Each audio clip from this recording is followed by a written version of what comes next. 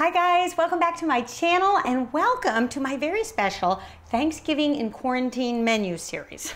I know, I think that we just need to do things a little bit different this year. We typically have anywhere from 20 to 25 people sitting outside. We make a big feast, we have friends, we have family, and it's so much fun. And this year, we're gonna be the four of us. I know, it's so depressing. But we're gonna Zoom with everybody uh, on the day of, and I have some tips for how to have a happy Zoom Thanksgiving, if that's what you're doing, on my blog post to this recipe. So I'll be sure to link to it below. So how's this gonna work? Basically, over the next few weeks, weeks leading up to Thanksgiving, I am going to be giving you a course for this Thanksgiving menu that is going to focus on small quantities. So thanks to the poll that we did, it looks like the majority of you guys are only having about four people for dinner. So I figure we'll do quantities for six. That way you get to have a little bit of leftovers and they're gonna be budget friendly because I'm sensitive to the fact that a lot of you may be out of work right now. And so I wanted to have a menu that wasn't going to break the bank. And they're gonna be easy because let's face it, we have all been home for the last seven months cooking and cleaning. So I didn't wanna have a menu that was gonna be more cooking and cleaning. I wanted to have it be as easy as possible. So that's what we're gonna do. All right, well, let's start with the best part of any Thanksgiving meal, and that's dessert. So if you didn't wanna make a full apple pie this year, if it's just the four of you, maybe you consider making some apple crepes. You still get the same familiar flavors of the cinnamon apples, the ice cream, and then of course that sort of starchy goodness of the crepes. But I think they're way easier to make. You can make them all ahead of time. And it makes a holiday like the quarantine Thanksgiving just feel a little extra special and fancy. So we're gonna start with three quarters cup of all-purpose flour, two tablespoons of white sugar, and a little pinch of salt. Then we are gonna whisk this up. Now I've made crepes before on this channel and in fact if you want a larger quantity, if you were serving eight or more, I'll link to that below and you can look at that recipe. This recipe is scaled down for six. Then we're gonna add one and three quarters cup of milk. You can use whole milk, you can use 2% milk, either one will work. So you really wanna get this part going first because this is what's going to create a crepe batter that doesn't have a lot of lumps in it. And then we can add one egg. There it goes. Have any of you made my crepe recipe before? I'm curious. You can put it in the comments or the chat. It's a recipe that I typically get a lot of new people to my channel, so it's sometimes the first way that people discover my channel. Either that or the French macaron video. it's usually one or the other, or the banana bread. So let me know, how did you discover my channel? I'd be curious to know uh, what video brought you here. And then we're also going to add two tablespoons of melted butter. Okay, so you probably have all these ingredients, right? Easy peasy, that's all we have to do. It's all done. Okay, before we start making the crepes, there's one thing I want to show you which will help you package them up once we're done. So I have just a plain plate here. On the plate, I'm gonna put a piece of aluminum foil down.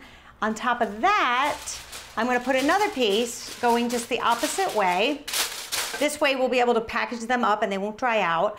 And then to make it easy to microwave uh, when we want to heat them up later, we're going to just put a piece of paper towel here. And then we're going to stack our crepes all going the same direction on the paper towel. If you stack them in alternating directions, they'll stick to each other. So stacking them going the same way helps to prevent that. Okay, so tip number one is to use a nonstick pan. So I have a 10 inch pan here. We are gonna be using a ladle of batter for each crepe and one ladle full fits perfectly for one crepe. Um, so if you have a pan that's too big, your crepe will be too thin. As it's heating up, you wanna grease it with a little bit of oil and a paper towel. So I use grapeseed oil, but you could also use vegetable oil. And make sure you grease not only the bottom, but the sides as well. And then the other thing you want to have ready is some sort of thin spatula. I think these work best for just kind of getting under the crepe. If you didn't have a spatula, you could also use a butter knife as well. Okay, I think our pan is looking pretty good. So I am going to take a ladle of batter and just put it in the center. And then you want to work pretty quickly, so you don't want to let it sit here too long. You want to just take it and give it a good swirl. And if you feel like you're coming up a little bit short, oopsie, you can just give it a little bit more batter and just keep swirling. That's the secret to keep swirling. And you don't actually want to use too much batter because you want to make sure you have enough for your six crepes, if six is the number you're trying to get to. If you're only wanting four, then I've given you one to mess up on and one to taste. Okay, then what will happen is the crepe will start to set. And as soon as you start to see it get golden brown like this around the edges, that's when you want to go in with your spatula and just loosen it a little bit um, this is why I really like the spatula. Sometimes the knife is not thin enough to get in under there, um, but it certainly will work if that's all you have. Okay, then I go in with my hands and I just give it a flip, just like that. And you can see how beautiful and golden brown it is. Easy, right? Okay, and then you only need like not even a minute on the other side because it cooks pretty quickly. And then don't even worry about trying to take it out. The easiest thing to do, I'm just gonna turn off my flame here so I don't catch this on fire, is take our little storage situation here, but you just slide it off. See, just like that. And then we're gonna stack them all going this way. All right, so I'm gonna whip up the batch. Okay, we have our six crepes here, and then we are going to just put the paper towel on top like that. Then you can put one sheet of the foil like that, and one sheet of the foil like this. There. And then you are all set. So you're just gonna pop this in the fridge until it's time to serve. And I'm gonna show you what to do with that in a minute. So now for the salted caramel sauce. It's so easy. Wait till you see how easy this is. Okay, so we are gonna start with 2 thirds cup of just plain white sugar. And you're gonna put that in a pot. You wanna have a pot that's similar to this in that it has a nice high profile, you'll see why in a minute, and that it's not too skinny um, because the larger surface you have to melt the sugar, the quicker this will go. And then this is the patient part. You don't want to touch it. So resist the temptation to get in there with a spoon or a fork and start to stir it around. Sugar melts best into caramel by not touching it and doing more of the swirling lifting technique. It's just one of the tricky things about making caramel. I don't know, caramel, caramel, which one? I go back and forth. It's like tomato, tomato, pecan, pecan.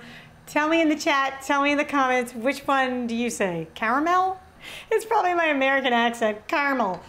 We seem to abbreviate everything. Then you want to swish it around.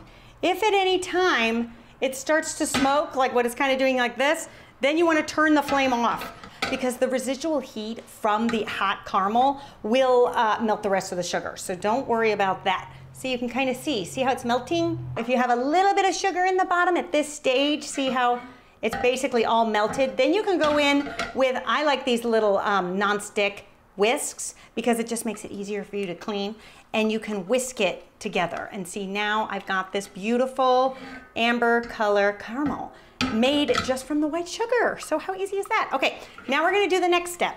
The next step, and this is why we wanted our high profile pot, I'm going to add 2 thirds cup of warmed heavy cream. So it just shouldn't be cold from the fridge because it's hitting this very hot liquid um, and it'll just be easier. But see how that will start to kind of foam up there? There, can you guys see, see what's happening? Then we're gonna add a tablespoon of butter. I would probably use unsalted butter and then maybe add a little bit more salt. Um, because we're gonna do that too. And this is what's gonna give the caramel that really great bite, the salted caramel. You wanna make sure, like I would say a good pinch is like that, almost an eighth of a teaspoon. Taste it after you add that, but be careful because it's gonna be really hot. You wanna taste the salt because what makes this so delicious is that sort of salted caramel flavor. And that's all we have to do. Our sauce is ready to go. So you can totally do this the day before. We're gonna store it in this little Pyrex pitcher and then all we have to do is microwave it the day of. Okay, now for the apples. So the apples are actually something that I would do the day of, just before serving. And I find after Thanksgiving, people need a little bit of a break before they get to the dessert anyway. so it'll give you something to do while people are just sort of milling about at the table. So I have my pan on a medium-high flame. To that, I'm gonna add two tablespoons of butter. Then once the butter looks like this and it's nice and melted, then I'm going to add two tablespoons of plain white sugar. And then I'm also gonna add a fourth of a teaspoon of cinnamon. Okay, then we are going to add our apples.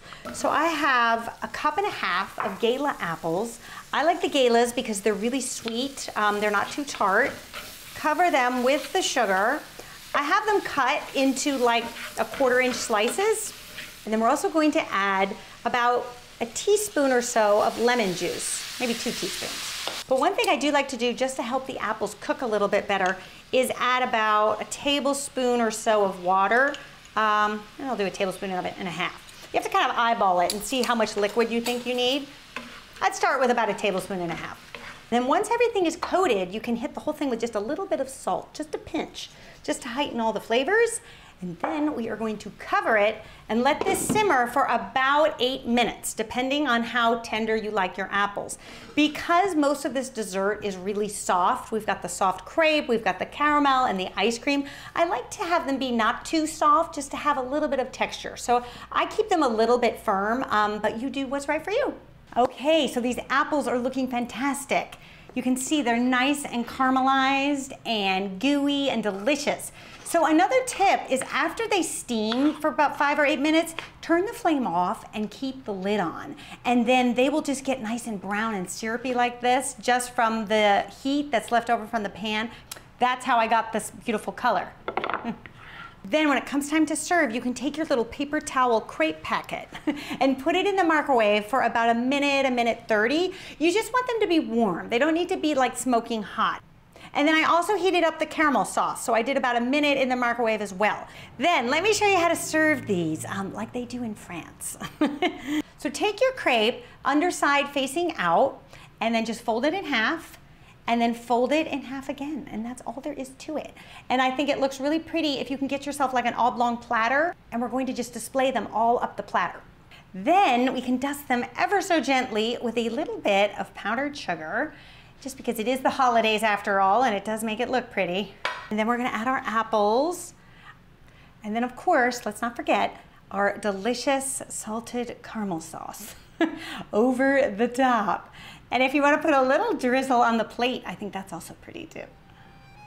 And there you have it. And you can bring this beautiful platter to the table and serve each of your guests a crepe with some apples and of course a big scoop of vanilla ice cream. And don't forget the extra caramel sauce, which of course you have to drizzle right over the top. I hope you guys enjoy this and stick with me for next week when we are going to tackle the main event, the turkey. I'll see you then. Bye.